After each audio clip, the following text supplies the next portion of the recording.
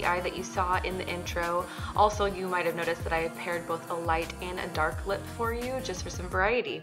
To start with my transition color, I am using Combust from the Urban Decay Naked Smoky palette, and I'm putting that in the crease and going up to the brow bone.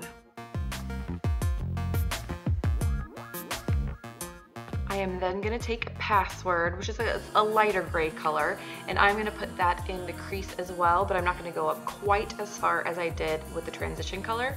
I am using the brush that came with the palette to start with, but that ended up being a little too firm for me, so in just a minute I actually switched to a softer Morphe brush. Also, please ignore that light you can see in the back. I did not realize that that was to be in frame. It'll be gone in just a moment. Here's where I grab the Morphe brush and I use that just to darken the color as well as blend the color out a little bit more.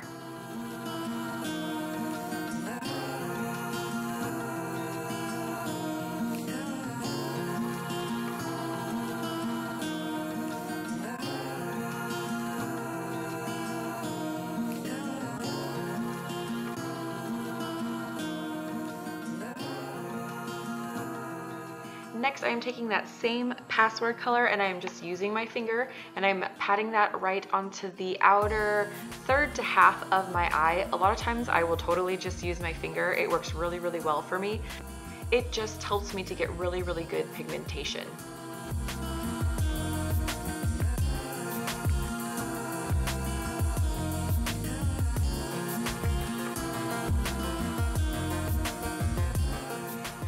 Going back with that same password color just to blend everything out.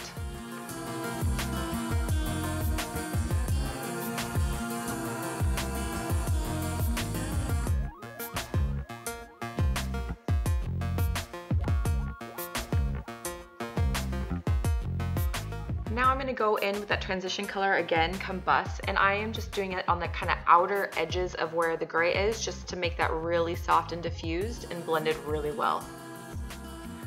A lot of times with these smoky eyes, you just have to kind of keep going back and forth with their lighter and darker colors to blend it out.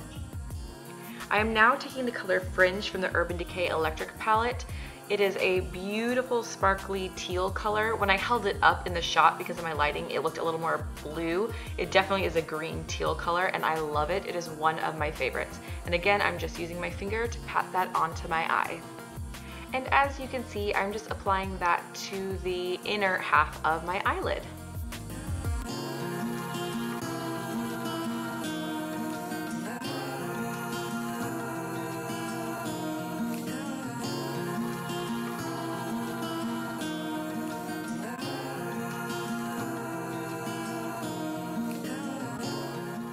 Did grab a little detailer brush to make sure I got the very, very, very inner corner of my eyelid.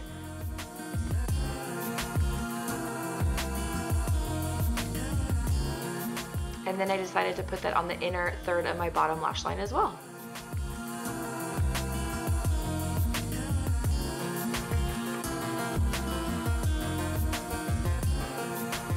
Okay, and next I am taking these two colors from the Morphe 350 palette because I decided I wanted to warm up the colors on my eyes. So I mixed those two colors and I am putting that kind of on the very outer edges of where I had blended out the gray up into my brow bone. I didn't quite go all the way into my crease with this.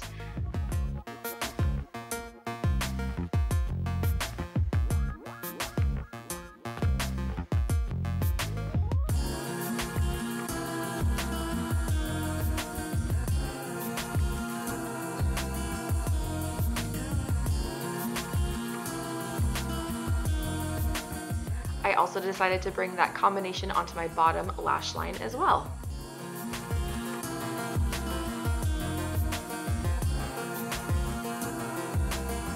Next, I'm taking Black Market from the Urban Decay palette again, and I am putting that on the very outer third of my eye just to deepen that gray color a little bit more and to give it a little bit more dimension.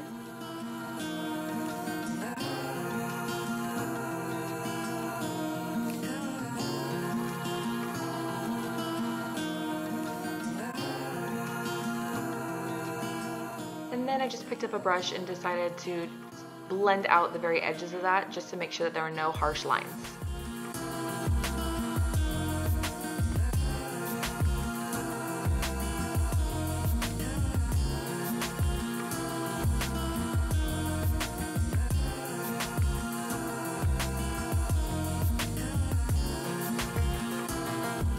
Then I'm just going back with fringe again just to make sure that the transition from black market to fringe is very soft and gradual. So I went right back in the center just to make sure that there were no harsh edges on that as well. Next, I'm taking this gel liner by Marc Jacobs that I got from the Sephora gift for your birthday, and I am putting that on my upper and lower waterline. My eyes always water when I do this. I'm not good at lining my waterline. I also smudged it into my bottom lash line as well.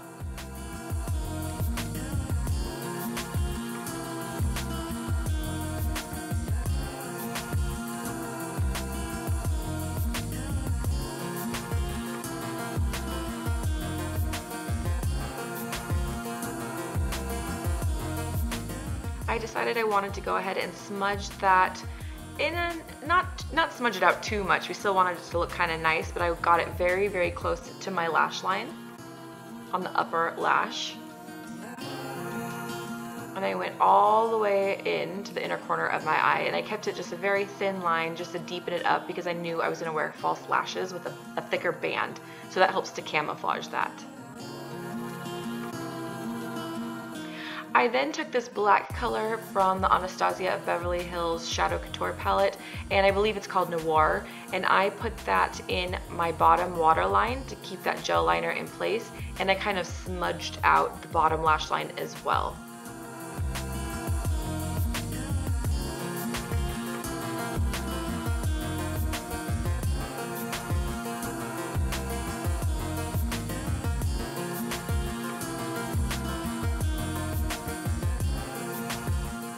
I also decided I wanted to smudge out and extend that liner with that same noir color.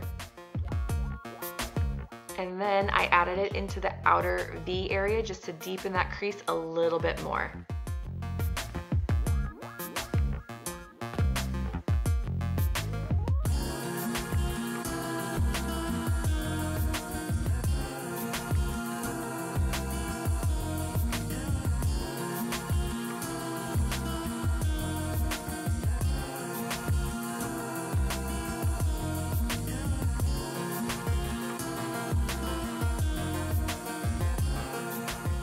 I went back in with those two Morphe colors just to smoke out that bottom lash line and blow it out and make it really soft and diffused.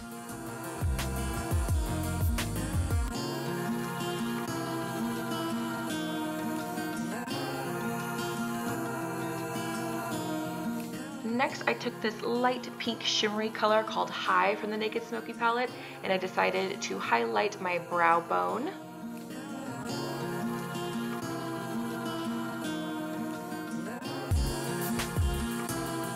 And I did my inner corners and the very inner third of my bottom lash line.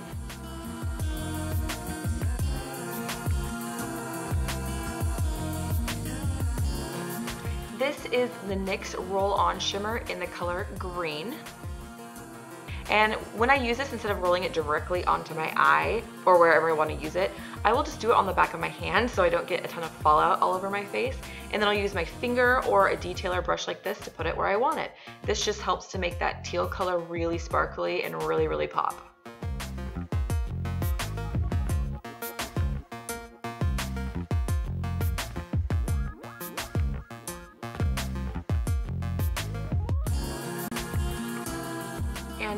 You can see here, I decided to add it to the inner third of my bottom lash line as well. Now this is the NYX Teal Glitter and I use the Lit Glitter Glue. I love glitter and this is my first time using it so I decided just to use it on my bottom lash line instead. I didn't want to get too glitter crazy because I plan on having some glitter looks coming up soon. So I just did it in my bottom lash line on the inner third and it added some really, really great sparkle. I wish the lighting in the camera, you could see it a little bit better, but I, I couldn't zoom in much closer. This is the L'Oreal Voluminous Carbon Black Mascara. This is my favorite. It is so, so, so black.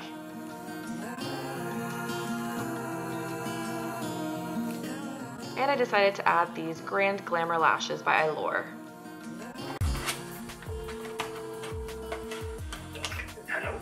Can you do me a huge favor?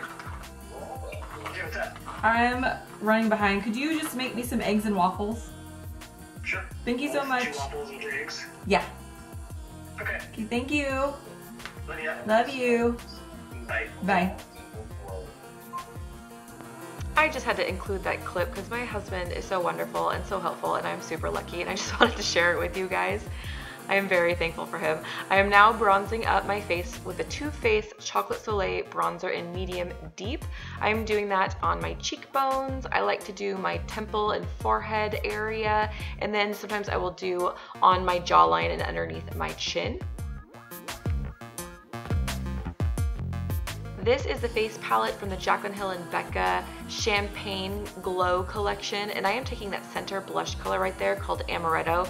Guys, this is my new favorite blush for the moment. It is so versatile. It works for any makeup look that you're trying to do, whether it's a no makeup makeup look or a super glam look. This blush is just perfect for anything you're trying to do. So get your hands on this palette while you still can because once they're all gone, they're gone. This is not going to be a permanent thing which is so sad.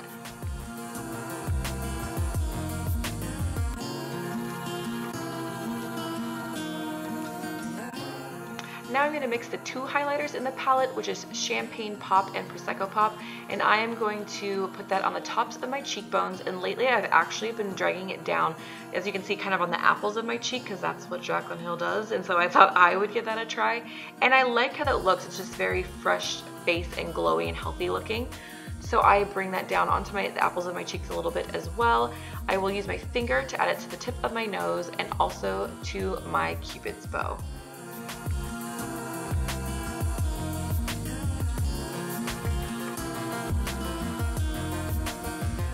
This is the Maybelline Blushing Beige lipstick. This is my first time ever wearing it and I love it. The color is gorgeous. It's a very soft nude, a beigey nude, the, the tiniest hint of like a pink or a peach and it goes on very smooth. I wanted to do a light lip first for those who love nude lips and wanted, since the eyes are so dramatic, if they wanted to soften their look by using a lighter lipstick. But the whole reason I did this look is because of this lipstick here. This is Petit Four by ColourPop and it is, it is their Ultra Satin formula.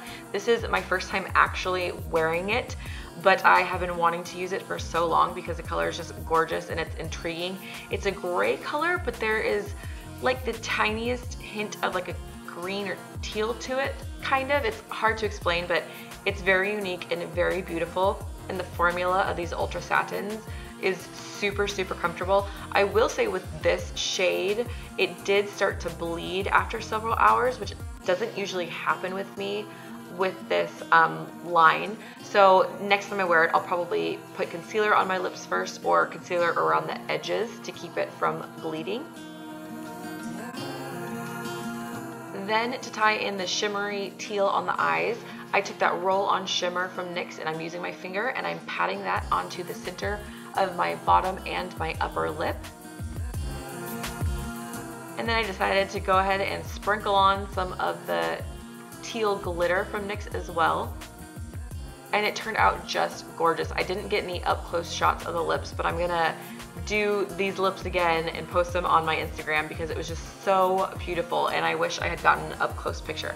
So watch my Instagram for that if you're wanting to see how the combo looks up close because it is beautiful.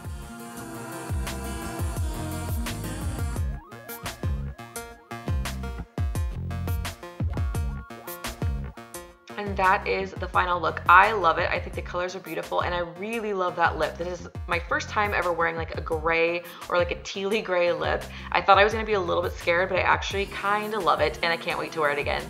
Thanks for watching. Love you guys. Bye.